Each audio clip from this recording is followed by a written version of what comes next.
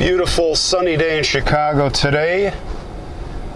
We're in uh, Norridge, Illinois, just on the outskirts of Chicago on the west side, a suburb of Chicago, and uh, we're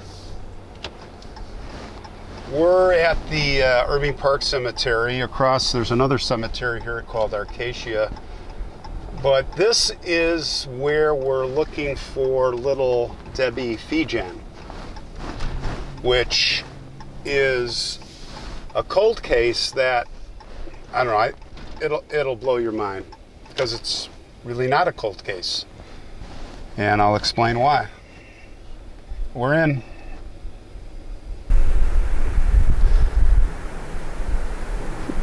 I have a general idea where Debbie's grave is. This is one of the, I'm going to say one of the more frustrating stories I've heard uh, as I looked deeper and deeper into this tragedy of little Debbie Fijan. She was 10 years old when she was killed. And uh, she was stabbed 19 times and she was found on the side of, uh, in the ditch of the road with her school books and uh, other art of, uh, other things she had from school. And oddly enough, she had a full mounted duck, a real mount, duck mount with feathers. It was a school project. I'm going to probably guess it would be uh, a show and tell uh, a show and tell project, and uh, but it was. Uh, this is, I think, one of the oldest cases, cold cases, and I'm I'm going to tell you, it's not a cold case at all. They let the killer walk free, and when you hear what I'm going to tell you, I think you're going to be equally astounded and frustrated. I don't know how uh, how they convicted uh, convicted any anyone back in the day. This was 1966 when this happened, and so she was last seen um, at 5:30 p.m. at the school, and she was with her teacher, who last saw her, who is the uh, is the prime suspect. We'll get into that. His name was uh, Loren Schofield. And I think he was 27 years old at the time. And uh, this guy was, uh, he, talks, he taught sixth and seventh grade. And he also taught, he, he taught phys ed. And I think this guy was, well, maybe not a pedophile, but anyway, he uh, he did a lot of odd things, you know, and, and, you know he was the primary suspect because right off the bat, they go to his house and there's remnants of burnt clothing, fresh. There were feathers found in his car. I'm just gonna I'm just gonna tell you some of this stuff. It's crazy. It's like so like how do you get how do you get away with this? Um, his clothes, which is his wife actually gave the clothes to authorities that he wore to the school that day, and they had blood on it, uh, blood on the clothes. I'm not, you know, I'm, I'm laughing because you just, just wait till you hear this. It's not funny, but it's preposterous. He surrendered a small pocket knife and this uh, pornographic material. He had he had pornographic material in the desk of his, uh, in his school desk, teacher's desk. Now, I can't say it was child pornography, but it was pornography, and he burned it in the school incinerator, and they found that. I mean, the investigative work was was seemed to be really good. The police, listen, the police, they did a great job on this. And uh, he told his wife the day after the killing to burn lewd literature and pictures which he had brought home. And he, listen to this, he, he said, Oh, I, I found him on the side of the road and I thought it shouldn't fall in the hands of children. Yeah, that's, uh, we're going to believe that. And a witness reported that uh, it was a husband of one of the teachers that he saw you know they were at the school there was a there was a basketball game going there's a lot of stuff going on and he reported that he saw a guy and a white car with a girl standing next to the car and of course what car did schofield drive I, he was one of three people only three people in that area that whole area that were uh, suspects that drove a white car. So, so the sheriff, his quote of the day was, "We got our man," and you know what? He they did. I think they did. I think most people did, do, did, and do. And uh, the guy basically confessed. I mean, he told investigators that he uh, he could have committed the murder, but he couldn't remember. really? Come on. Okay, can't remember. I could have done it. He failed nine, I think it was nine lie detector tests. And he gave, you know, and we, we hear this in, on the stories. Uh, inconsistencies, different stories told over and over means you are lying. And that's what he did. Different versions. And then he said, Oh, I, I can't remember the place. Uh, you know, I couldn't remember where I was the evening of Debbie's disappearance. I don't know exactly where I was. And just on and on. And listen to this. Here, here's some, I'm just to there were there, I read the uh, the interview. They had publicly released the uh, Q and A. You know, today we see videotaped interviews, and none of that stuff gets on the. You know, boy, the, back in the '60s and the '70s, they would just uh, newspaper people had access. They could touch evidence, and and they can they would release. Uh, a lot of information. So some of these questions, uh, for example, you know, how did you feel towards Debbie? I had mixed emotions. I felt resentment toward her, probably because she paid attention to my son. Oh, okay. And the guy goes, the, the cop goes, Can you explain that? Well, she was a very intelligent, smart girl, but she could be annoying. And uh, next question there is a possibility that you've murdered this girl. Is that right? Uh, yes. Sounds like a confession to me. I mean, what do you got to do? Could you absolutely deny that you murdered her? Uh, no, I can't absolutely deny it. Now, listen, these, these are like, this is right out of the newspaper, like what was, what was said. Why did you burn the literature in your desk in your school in the school? Uh, because I thought then if anything would come up from the situation, which progressively started to look worse and worse, I wouldn't want any suspicion on me. Boy, this guy sounds like a like an eight-year-old trying to get out of a lie, really.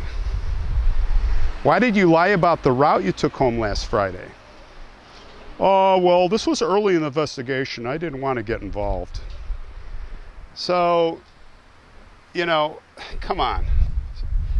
And where I'm going with this is, uh, and, and by the way, the day after, I mean, you, you look at the parents, their life is just ruined. And the day after, the mom, Marilyn, she goes to the school to console the students. Gosh, what great people. Can you could you imagine who would have the strength to do that? She did it. And then some really smooth hotshot attorney got involved, Mr. Smarty. His name was Robert Chapsky. He was from Elgin. Oh, he says, well, no, no, we're, we're stopping these interviews and lie detector tests. And, oh, you want to do a mental examination? No, we're not doing that. So he kind of just shut the whole he shut the whole invest, investigation down. So here we are, and uh, I've got to do more investigation on this on the way out if I can get into the office. But from the research I did, uh, little Debbie's buried right here between, she's buried between this um, marker, this memorial, which is her mom's parents, and uh, this tree. She's right here. Now, why she doesn't have a memorial stone? You know, you look back at one of my, I think my first video of Elsa, Elsie uh, Eliska, who was Perubek, who was murdered, not to get off track, but she had the headstone, her parents did not. And um, why, I mean, I, I don't understand this, but you know, maybe, maybe she isn't here. I think, I'm, her parents moved to Florida and I looked up their, uh, I'll show here their markers. He, I think he fought in Korea, so you have, uh, you know, those type of memorial stones. Marilyn's parents, which is Alma and Bert. Uh, Alma just died in 2014. Jensen. So what happened what happened? Well, when the attorneys get involved and the judge sits there, the judge says, not enough evidence. Now, granted, they didn't have DNA, they didn't have uh, all the fancy blood testing. But come on, how do you let this guy go? Yeah, I'm gonna see if I can if I can find out whatever happened to him. I'll. I'm sure he uh, he disappeared or his family disappeared. And you know what happened was Marilyn.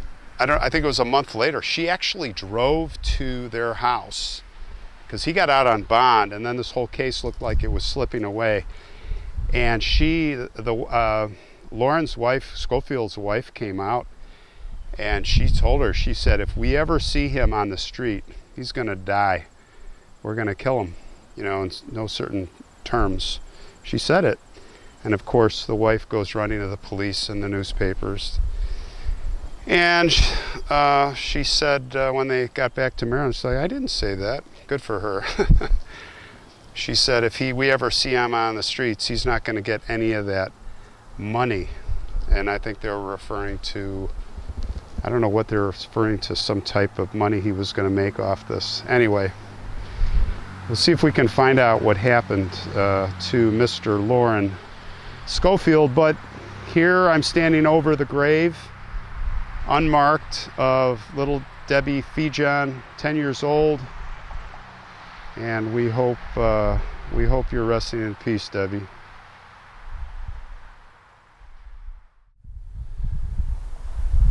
Next up, the grave of the Gusenbergs. Now, these guys were mobsters in the Capone days. Actually, they were enemies of Al Capone, and they were very uh, they were very infamous and uh, they worked for uh, they worked with Bugs Moran growing up, and they all joined the uh, Dion O'Banion gang, North Side crew, the Irish, the guy that owned the flower shop who got assassinated there by the hitmen, and uh, I think they worked with Hymie Weiss also. Anyway, they were going after Capone. Here is their tomb or marker for their graves. Gusenberg. And I do not see, I see some money. I see a cross. Let's see if we've got names here on the other side. No. Isn't that interesting? Now, we don't know. Uh,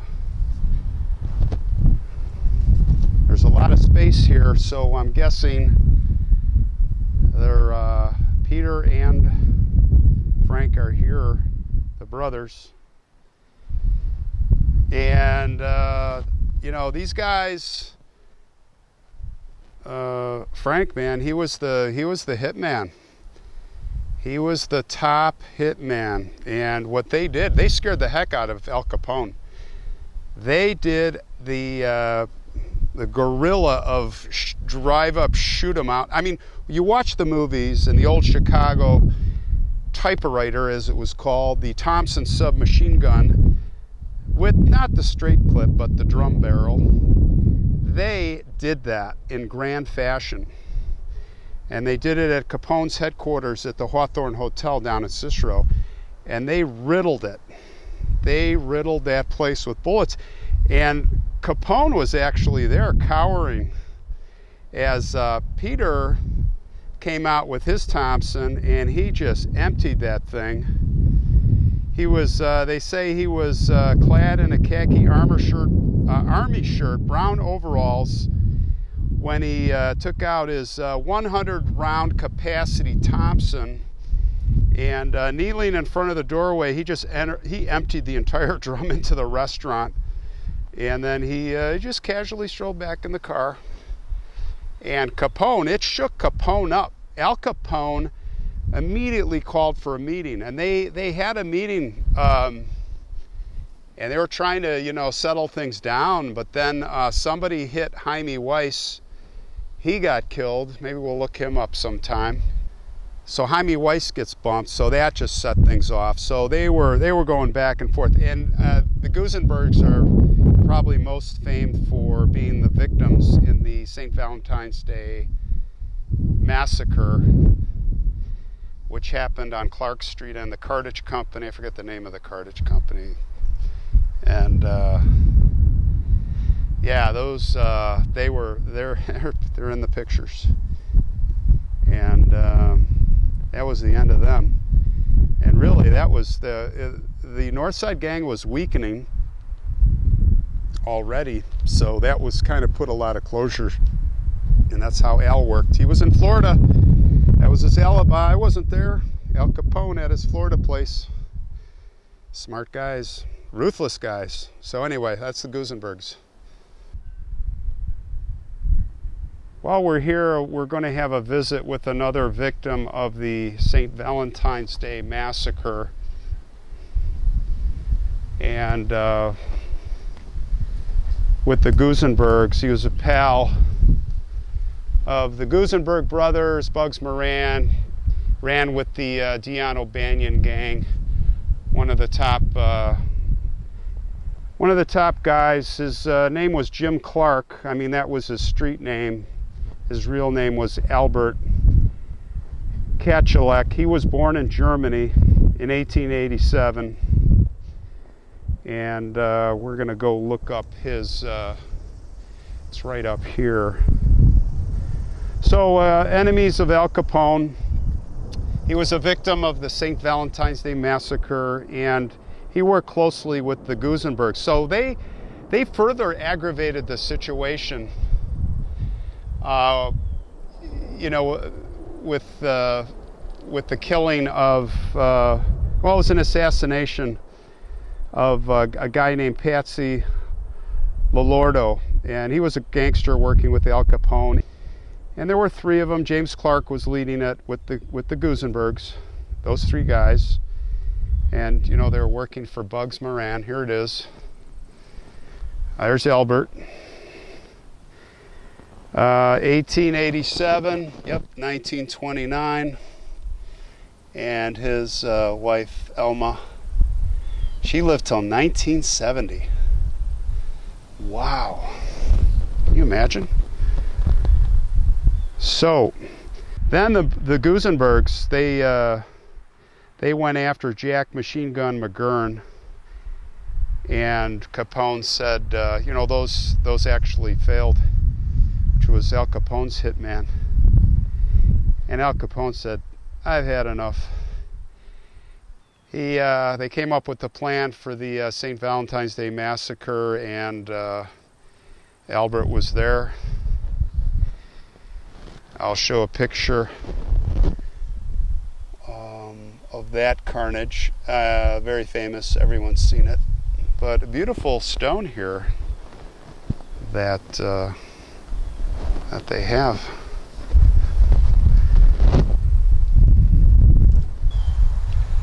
Not so fast. We've got one more guy here that we need to uh, check out. And uh, boy, there's been a lot of destruction here at this cemetery. There must have been one heck of a storm that came through here. There's one other guy that was on the other side, on the Capone side, and he was uh, actually the one of the gunmen, or suspected. Will always be a secret of the St. Valentine's Day massacre that killed the Gusenbergs and all those other. Bugs Moran, by the way, he uh, he was the main target. He was kind of the boss of that crew, and he was coming down the street and he saw some policemen and he he he just boogied out of there. Actually, the policemen were mob guys from the Capone side dressed in disguise. They were the murderers, and one of those guys dressed as a cop, possibly or probably, was Fred Goetz, who was known on the street as Shotgun George Ziegler. And there's a picture on Find a Grave site. If you go there, for this gentleman at Irving Park Cemetery, and all there is is a picture of what I matched up is the perimeter cemetery fencing here, and there's no location for the grave. And I went to the uh, office, and uh, they were very nice, but they would not disclose the location of this grave. So I was trying to look at that picture and I really, I drove the perimeter of the cemetery and I could not find those apartment buildings. So I don't know who or why or so a little, a little investigation would be helpful. But I thought it would be. Well, he's here. He's he's close by. Um, but uh, a little bit about him. Goetz, he was a life. He started out as a lifeguard in 1922, way north at Beach, in Beach Park, uh, Illinois, a neighborhood. And, until he was charged with uh, sexually assaulting a seven-year-old whose name was Jean Lan- Lambert. Uh-oh. Uh, he was by an alley, so uh, this was at Edgewater. This is down by the lake on the north side. So he uh, not surprisingly, jumped bail on that, and um, he found himself uh, joining the Barker gang, Ma Barker. And this, uh, of course, was after the St. Valentine's Day massacre, which we're not going to get into. But uh, yeah, he ran with the Barker gang, and uh, Alvin Karpis, Fred Barker, Doc Barker, and they were involved in the Minnesota St. Paul, Minnesota uh, kidnapping of uh, Edward G. Bremer, which is a very famous case. And they released him. They got, I think they got a couple hundred grand out of that. But like all of these guys, or most of these guys, except for Al Capone, he uh, he met his end violently. He was killed by, in a drive-by shooting um, outside a closed uh, Cicero Illinois restaurant called the Minerva. And that was on March 20th, 1934. So uh, he was, he didn't die right away, but he got to the hospital and then he died there. His expensive car was found, uh, and it was believed to have been abandoned there by his wife Irene. And uh, Fred, he was a wanted fugitive by the FBI. The culprit for his murder has never been caught, not known. But uh, a number of his former associates had mo- uh, motives for his murder, including the Barker gang. So he he did not leave the Barker gang on good terms. And Alvin Karpis believed that uh, actually the outfit boss Frank Nitti. Now Alvin Karpis was Barker Gang, but he he was pointing the finger at Frank Nitti. That uh, anyway, he's buried here in Norridge, Illinois, at Irving Park Cemetery somewhere. Uh, if anyone can uh, sleuth detective figure it out, I'll be back here in a heartbeat and I'll get it all. But uh, I don't know if his real name's even on the tombstone. I, I, I of course, the, the people, descendants, etc., they don't want him. Uh, they don't want him to be found. And by the way, uh, back to Debbie's, uh, that was the same thing. That's a private. They don't want it marked. They don't want people there. Um, probably because of all the publicity back in the day, uh, in the first years after her death.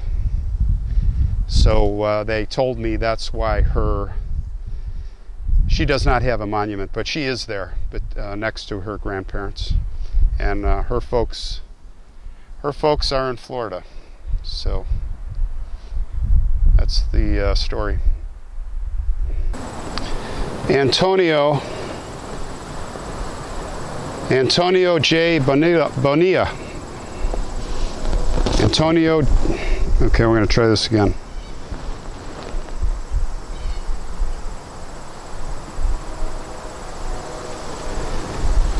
Antonio J. Bonilla. He born in uh, November of 1994, and he died uh, February 2nd, 2015. He was a beloved son. He was a loving father, cherished brother. This is a really sad story, guys. Um, Antonio uh, fell in love with, uh, well, his father describes her as an evil woman. I don't know if she was evil, but anyway,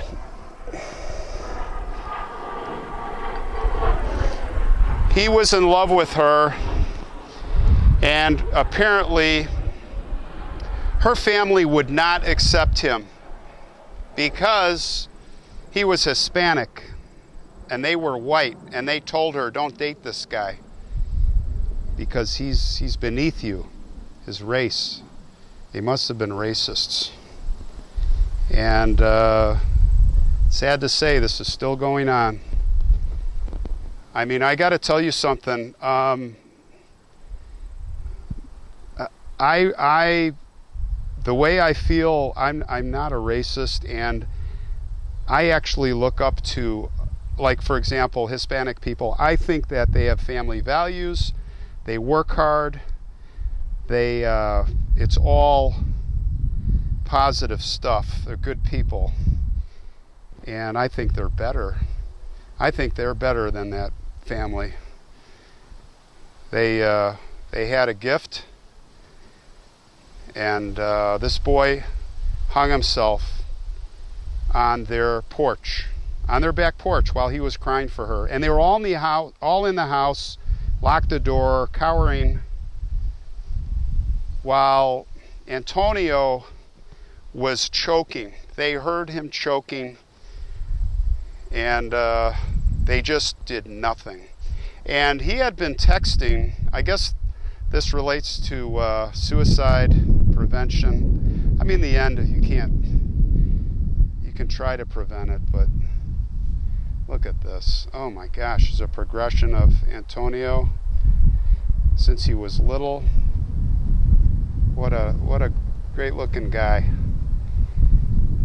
And uh, multiple friends knew that he was going to do this, and she knew it, and her parents knew it, as he had sent several texts what he was going to do and where he was going to do it and nobody did anything. One friend from out of state tried to save him, tried to do something, intervene, but he wasn't here. And everybody else did nothing. And so this young man, he killed himself. And shame on whoever she is. If this is true, again, I'm hearing just one side, who knows, but if it's true, shame on them. This boy is lost, uh, but maybe not, he's in a better place right now.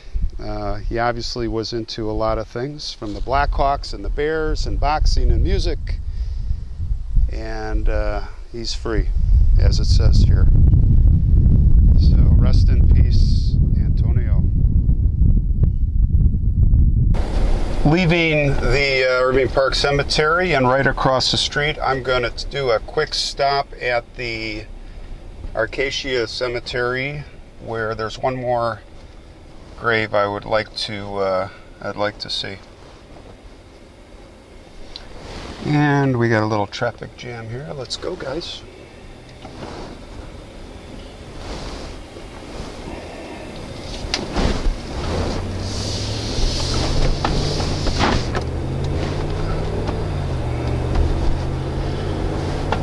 And we're here, Acacia Park.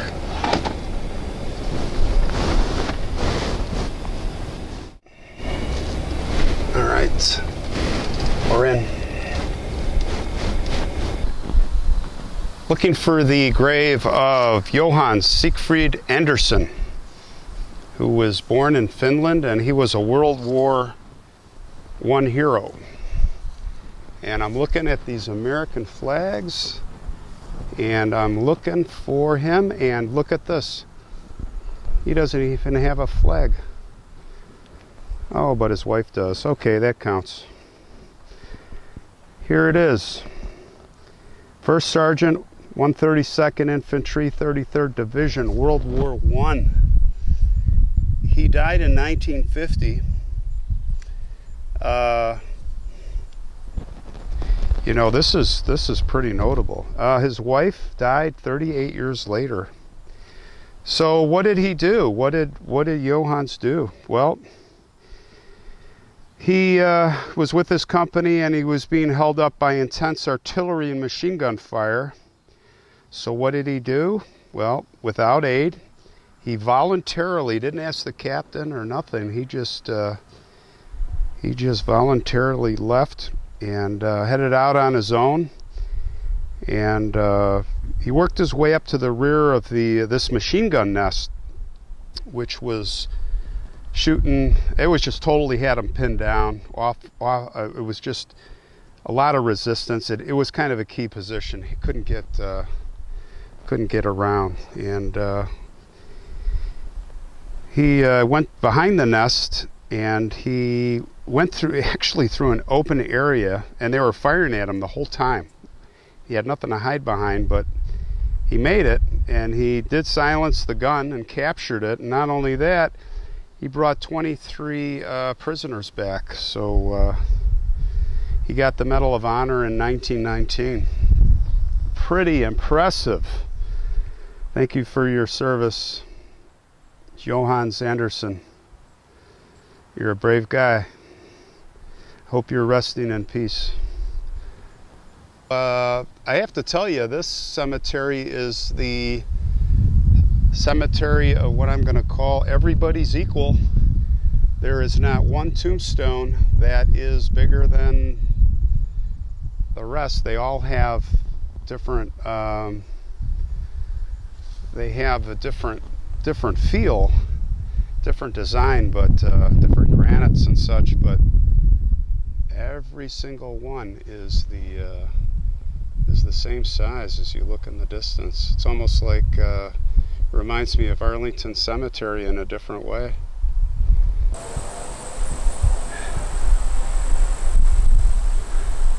Have you ever heard of the Harlem Globetrotters? That's right, Abe Saperstein. He was the man. And he is right here. Basketball coach, manager. Abe was born in London, England. You see a penny there. He died in 1966 and uh, he's the first guy that organized an African American basketball team. They were originally called the Savoy Five in 1926, and uh, then they changed it to the uh, Harlem Globetrotters. Razzle dazzle.